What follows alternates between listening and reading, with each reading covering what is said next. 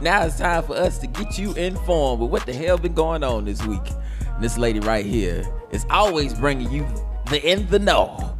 It is time for headlines with Miss Milan. What's up, baby? What it is, what it do, and we in the spot. Now y'all know I come with the news this week, and we got some some some interesting stories this week.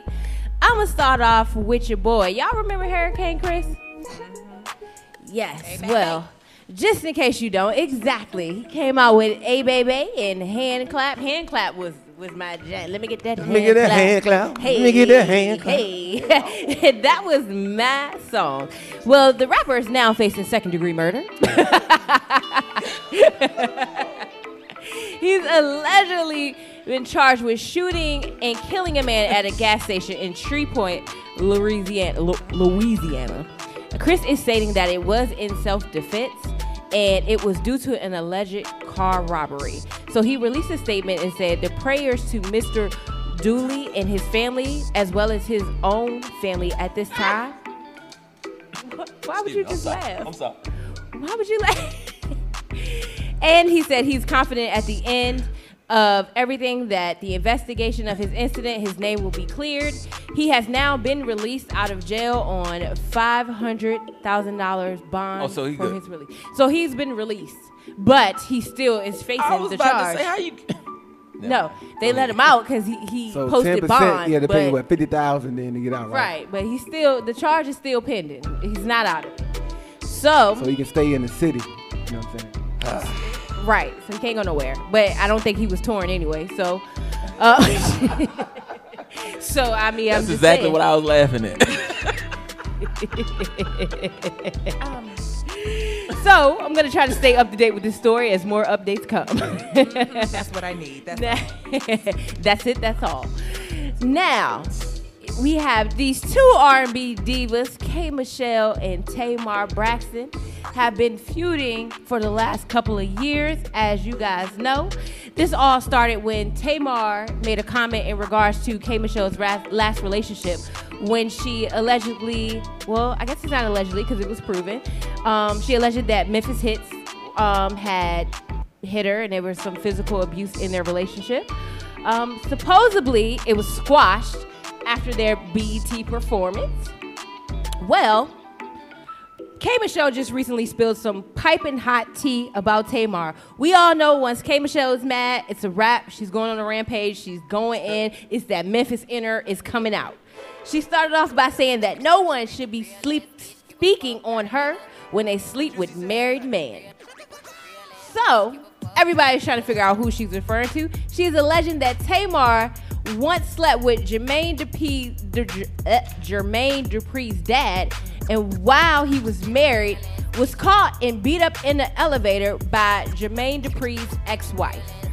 Now, people are saying that this was Jermaine Dupri's mom, but it, it's unfortunately it is not. it would have been a great story, but it's not. it is actually the wife before Jermaine Dupri's um, mom. So on the Rickey Smiley show, the brat did confirm that it happened, and she was in fact in the elevator when it happened. Um, she she did confirm. Yes, yes, yes. It was piping hot. She said she did confirm that she was there and there were several other people there, but in fact it was not Jermaine Dupri's mom and they they broke it up and it was kind of in and out. They they were in and they were out of the elevator. Let's rewind this for a second. How old is JD's dad? That's a good question. That man That like is- 70 years old. He has to be because Jermaine Dupri's like 40, 50. No, he like 50. He like him definitely and Jay Z 50. like the same age, so he like 50. Yeah, he in his fifties for sure. and Tamar is what? 43 ish. About yeah. Well, in the last couple of years, she would have been 40 ish. That's a good question. I didn't- How old is his dad? Well, it's like a, Find there out. gotta be like a 30 year gap in No, this. I'm about to say, give us Jermaine Dupri's age, and we can guess Daddy's age. Yeah, that's that's crazy. So where was her mama? Because Hold won't on, they we gon- singing we gospel find this out around real these quick. Supposed times? to be setting up Jermaine Dupri's daddy with Mama Evelyn. But won't they But singing some- gospel around these times? You can't sing gospel and then do that. That's disrespectful. I'm guessing 75. He gotta be 70, to 75. He got to be somewhere in there. So Jermaine Dupri is 47. Uh huh. So his, we're gonna put his dad at 62, 63, maybe. That's if he had him when he was young. Okay. Yeah. yeah, yeah. Okay. At least 20 years gap, maybe. Saying if daddy had him Yeah. at 19, We just saying if he had him when he was 19, or he was 19 But I feel like Tamar is around the same age as Jermaine, so that makes it even Yes. worse. Oh, Like you have a child his age. eh? That's a little bit weirder. That's wild. and I seen that, I said, JD Daddy. yeah, Right. that's I thought it was him at Homeboy, first. Producer, JD Daddy. that's a little crazy. I don't, I don't know how I feel about that. Well, I'm sure K Michelle will be coming back because once she pops, she just doesn't stop. So there will be more news coming with that. now, this comes in from one of a Petersburg native by the name of Trey Songz. Came out to show his city some love. He sponsored several Black Lives Matter events in Richmond and Petersburg, and he participated in the Feed Your City Challenge. The drive actually collects food and essential supplies and provides them through the community through a non-contract drive-through lane. So the list of events for the for for last weekend were a candlelight visual at the Robert E. Lee Monument, um, a Feed Your City Challenge in Petersburg, and a Father's Day Black Lives Matter bike ride. Um, now this comes on the heels of his "How Many Times" song. How do y'all feel about the song? I think it was deep. I like it. I think it was deep. I like it. Um, It get you emotional, get you thinking Yeah. about is stuff. very Absolutely. emotional. I Absolutely. think all the songs I've been hearing that everybody been coming out, I've been feeling really emotional. So he called out Mayor Stoney on Monday for appointing William Blackwell as the new chief of police after he shot Jeremy Gillum in the back, murdering him in July 2002. He says that um, the gun pulled on him. Um, he may well. Let me rewind. Blackwell says that uh, Gillum pulled a gun on him and he feared for his life. Although the gun was found 35 feet away with no fingerprints, and it was the next day when the gun was found. Um, now Trey, Pon- Trey Songz went on Instagram and stated that this is a bad move and the people need better. Addressing Mayor Stoney, what message are you trying to send to the people? These aren't rhetorical questions. You support this, then you don't need to support us. Step down now. And I ain't mad at Trey because Trey been on he been on his he been on his shit lately. Like um prior to this, he was on Instagram outing all the racists um and urging people to uh, report them to their employers and stopping people from supporting these people's business. He's been posting all their comments, all the crazy stuff they've been saying. So I'm with him. Like I appreciate the fact that he's actually doing all of this because not many celebrities have spoke out to this extent. They may have did a little bit of something, but he's actually came back home, called out the shit that's going on, and on top of that, he's on his platform using it to call out racists. So I appreciate that. That's more than a lot of people are doing at all. Very needed. Very needed. And I hope, especially with the today out of him trying to do something good and inspire other artists to, you know, take on your hometown, give back. I hope that the message can really go out that it is your responsibility to make sure that the community who already has their arms out and open Yeah. are able to receive that help from you because you came from this. Give back. So, yes. I feel you. 100%. I definitely agree with that. Um, now, do we, have time for one more story? Do y'all want to get into y'all boy Bill? Go ahead, go ahead. Y'all want to get into Mr. Cosby? Please. Well, My Mr. dog. That's my dog, man. Really? Hold on, let me. One time. That's my. that's what my Oh, right All right. Well, it looks like Mr. Cosby has a chance of getting his 2018 conviction appealed. Do you really? Let me let me get through the story. First. Wait a minute. I, The am kind of on the other side. Uh, let me uh, let me get through the story first, and then we because this is this is a topic that I definitely want to get into. The Supreme Court has agreed to review his case, um, and this leaves potential for having his sex offender conviction getting overturned. Um, it's he's currently serving three to ten year to. Actually, how is he still serving a three to ten? Why haven't he been sentenced yet? That's what I'm confused about. Eight years. If this conviction was conviction was in 2018, why hasn't he been sentenced to? Because it'll be up for parole at a certain time. They, they got to review it again, so it won't be it ain't definite. How old is Bill Cosby? Like 80. Yeah, that's life in prison. Yeah, that's pretty much life. yeah, three to ten is a long one. That's it. If this man gets out of prison and he is living legend. o- O.J. Simpson times two. Imagine 99 year old Bill. He might die. He might die at his return home speech.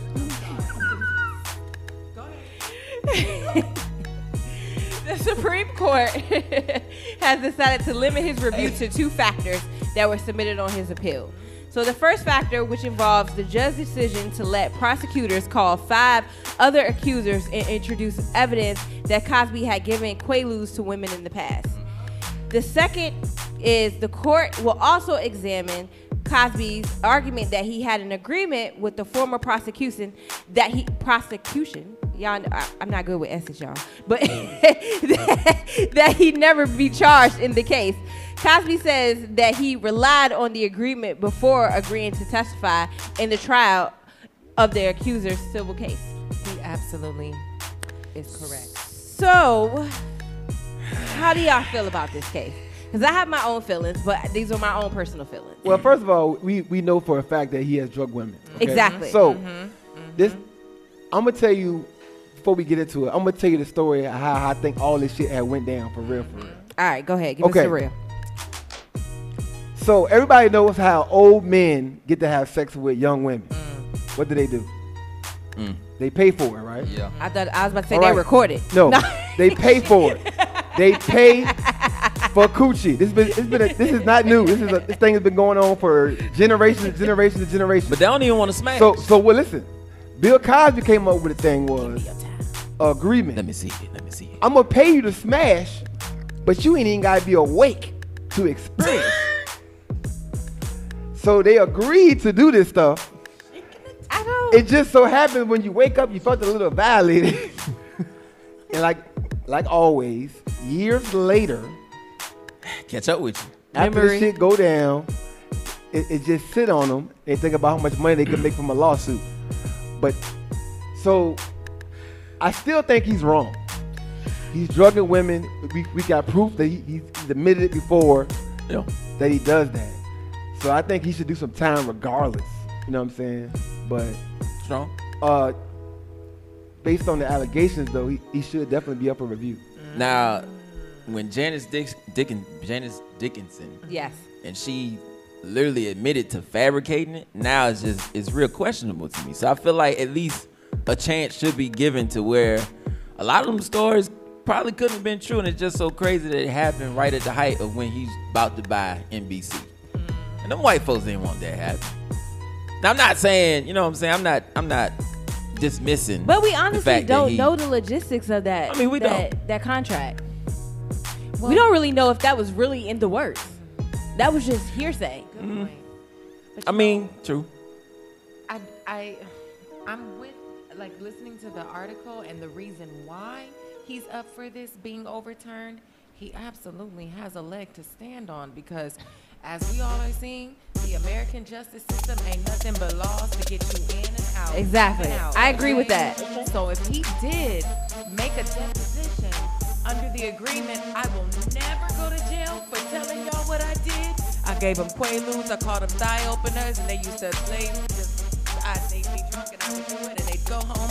I'd be telling it all too, because here I am in the 70s, mm, 80s, thinking Where everybody was doing it. they'll never get me for this. So, Yeah, can- Drugs was big in the 80s, 70s, yes, 80s. Yeah, that was normal. Yes. Everybody, you seen the Michael Jordan documentary? Yeah. He said his whole team was in the. Yes. His whole team was doing That's cocaine. like Russell Simmons. Oh my God! If this The same gets out- situation. But okay, so this is my thing. I I can see how this could be a conspiracy, but also this story started from I don't know if it's it started from one witness. And the fact that this one witness gave us exactly what happened and Bill said, "Yes, I did give women that." It kind of leaves me in a position where I'm like, I don't think you should just be Walk in. you- a slap on the wrist because if she said this happened and you agree that you were giving women this at the time, then there's some truth to the story. So I can't really say I think you should be let free. Like I'm really just kind of like mm, about this story. If you're a woman, you definitely shouldn't think that way. I've, I've been is through some people here. crazy, Right. and I can't. I just If you can't, can't be feel like comfortable free going out with somebody Like, without I getting drugged up, you know what I'm saying? That's crazy. Yeah. So I'm. Yes, I agree with you, Jen and Slide, and there that should definitely be looked him a in. You shouldn't be on the stand lying. Right. But also, this story didn't come out of thin air, and he didn't agree to nothing. So, mm, I, ju- I, just, I just think that that lie opens up a, an opportunity to for something to be surfaced. Yeah. that is the truth. You it know opened it up for 26 more women to come in and make up a story that's similar. But or Even if you're not the one on the stand, oh, I just get to tell people this is what happened to me. Hell, I was an assistant for somebody back in the day, and I was gonna get on the show. You know. But you know, like Eh, you yeah. kind of give people power, like when you admit something that happened to you, and you was keeping it quiet, sort of like the R. Kelly thing. And that's the problem with a- the media. The yeah. media releases stuff before it needs to be released. Because honestly, if it wouldn't have been put out there, it probably would have been way less women that came out and said their story. Now it's kind of hard to believe because so many women have put their story out before they went to trial. Oh, and me too. It's easy And me too. to reciprocate it. So I, that's why It's I'm tough, like though. It's I'm tough. really on the fence about this story. Like, yes, I feel like it's messed up because one woman did come out and say she's a lie, but I don't think hundred percent that that whole story is fabricated. Like, it's then we also sleeping on how big of a star he was back then. right. Yes. Like you talking about, think about the, the biggest movie dad. stars now. How much potential pussy Will Smith. is exactly At their, like, I, that's who I compare it to. like back then? Yes. Yeah, it's like Will Imagine Smith 20 now. I would be devastated. Cause think about Yeah, where that we think about where we put him at. Like everybody hurt. had Bill Cosby on the highest pedestal there was. Yeah. that was Fucking- Dr. Huxtable. You know what I'm saying? Like Fat Albert. He was too happy about pudding. We should have do something with that. no, I'm just kidding. so I mean it's it's not too far fetched. I believe I definitely believe he raped some women with the drugs. Uh, but like I said, he signed the agreement. And said that he, that they he did it. they- like, yeah, so I mean I don't know, but that's the news for this week, y'all. Um, just so y'all know, y'all can um shop my website www.wheremissmilan.com. Um, holla at your girl. Uh, nickel and lead free. Where she at? Nickel and lead free. You already know. Where but she at, holla where, where I'm at. Where she at though? That's gonna be the that's gonna be the slogan for your website. Wheremissmilan.com. That's where you need to be. All right. Word. But I'm gonna pass it back to you, Mike J. Holla at you, girl. Word. All right. If you're looking to get some quality mink lashes that can be reused up to 25 times plus more, check out the Lash Queen at BeeUnique Lash. They have a variety of styles for you luxurious lash ladies or you ladies who go for the more natural look. BeeUnique Lash has got you covered and you will not be disappointed. This is the perfect time to support our small black businesses. So if you're looking to upgrade your lashes, check them out on Instagram at Be Unique underscore lash or www.beeuniquelash.myshopify.com. Proud sponsor of the Blacktop Radio.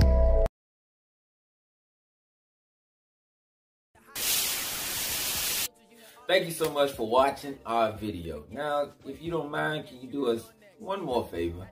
Hit that subscribe button and also tap that bell notification. That way you're alerted about all of our live content, our live episodes, behind the scenes information, also live interviews with some of your favorite guests, and plus many more right here on Blacktop TV. Also, if you need more information about the show, follow us on Instagram, Da Blacktop. That's D A B L A C K T O P, and you know me. Ha! I'm a poet, ain't even know it. I rhyme all the time, and that's about it.